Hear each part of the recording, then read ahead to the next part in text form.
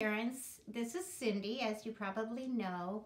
With everything that's happening with the coronavirus and all the precautions we're supposed to take, I've decided to do our lessons online for the near future.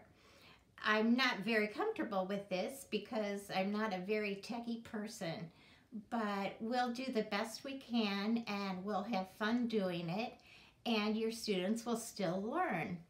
So I wanted to advise you, my favorite app to use um, is Skype, but we can also do FaceTime or Google Duo, um, or I'm willing to try any other app you'd like to try.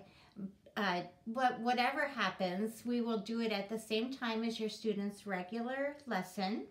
They will need a couple of things to be at the piano with them. Obviously an iPad or a tablet or if necessary a phone that will that would have the app. But also their lesson books their assignment book a pencil and some highlighters.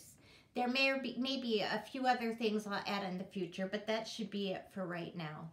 Um, as far as payment I have an account with Zelle so if you have not made your March payment yet, I would appreciate if you could do that. And if you need me to sign up for another app for that, I would be happy to do that as well. Or you can always send me a check to my home.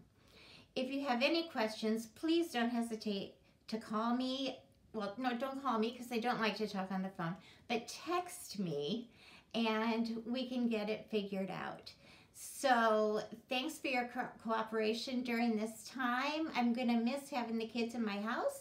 The kitty cats are going to miss them, but hopefully this will just be for a short time. Thank you.